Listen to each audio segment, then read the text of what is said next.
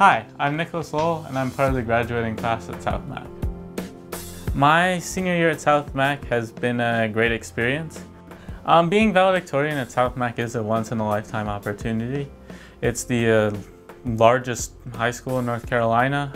Um, I'm really excited to have the chance to speak and to be um, a representative of our senior class, which is full of incredible people.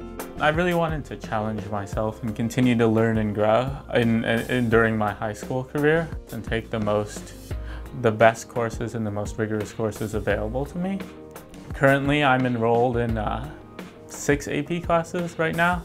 My goal was to get experience in as diverse of an area of fields and disciplines as possible. So in the fall, I'll be attending Harvard University. Um, it'll, I, am really looking forward to it. I think I'm going to end up majoring either in uh, economics, math, or science.